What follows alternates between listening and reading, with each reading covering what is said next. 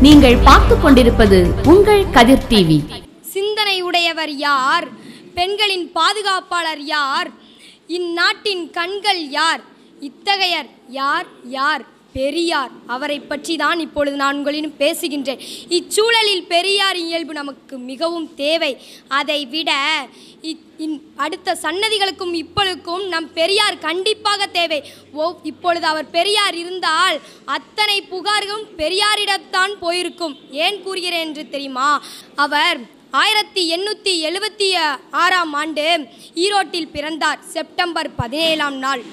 பதிமூன்றாம் வயதில் திருமணம் செய்து பத்தொம்போது வயதில் துறவு பூண்டார். அவர் காவி வேஷ்டியும் காவித்துண்டையும் நாடினார். ஒவ்வொரு புனித தலங்களும் சென்றார். அப்படி சென்ற சென்ற இடத்தில்தான் காசி இடத்திற்கு சென்றபோது ஒரு நிகழ்வை கண்கொண்டு பார்த்தார். அது என்னவென்று தெரியுமா? பார்ப்பானர்கள் என்ற இனத்தர் மற்ற இனத்தவரை இழிவாக பேசினார் நேரடியாக கன்றார். உண்டு செய்த பழுத்த பழம் தூயதாடி மார்பில் விழும் மண்டை சுர மண்டை சுரப்பை உலகு உலகுதொழும் மனக்குகையில் சிறுத்தை எழும் என்று என்ற பாவேந்தர் கருத்தின்படி பாவேந்தர் கருத்திற்படி அவர் அங்கு செயல்பட்டார். தனியாக நின்று அங்கே போரிட்டார். அதே போலதான் கேரளாவில் வைக்கம் என்ற ஊரில் த தாழ்த்து தாழ்த்தப்பட்டவர்கள் கோவிலும் நுழையக்கூடாது என்று அங்கு நடந்து செல்லக்கூடாது என்று கூறினார்கள். கடவுளின் பேர் வைத்து கடவுளின் பேர் வைத்து ஒதுக்கப்பட்டார்கள். அதை அவை எதிர்த்து வைக்கம் வீரர் என பெயரையும் வாங்கினார். இதை போ இதை விடுங்க. சாதி மதம் என்று அத்தனையும் உண்டு.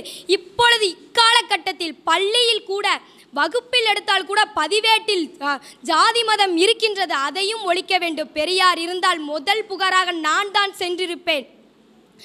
அதை விடுங்க பெண்களுக்காக அவர் எத்தனை பாடுபட்டிருக்கின்றார். நான் பெண் என்ற ஆணவத்தில் கூறவில்லை போராடியவர் ஆண் என்று உரைக்கின்றேன். அவர் பெண்களுக்காக சொ சொத்துரிமை தர வேண்டும் என்றார். ஏன் தெரியுமா? அப்பொழுதாவது அவர்கள் அடிமை ஒழிய வேண்டும் என்று.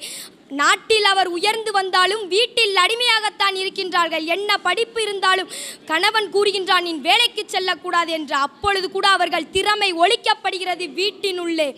இதை நாம் ஒழிக்க வேண்டும். நான் இளைஞர்களை பார்த்து ஒரு கேள்வி கேட்கிறேன். இளைஞர்களை பார்த்துதான். இளைஞர்களை பார்த்து ஒரு கேள்வி கேட்கின்றேன்.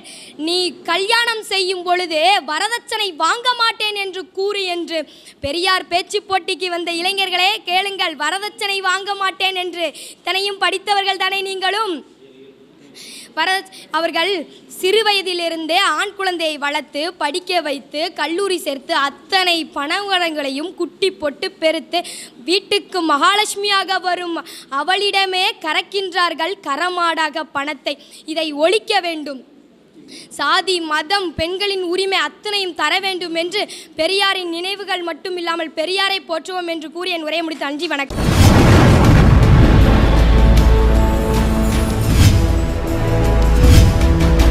நீங்கள் பார்த்து கொண்டிருப்பது உங்கள் கதிர் டிவி.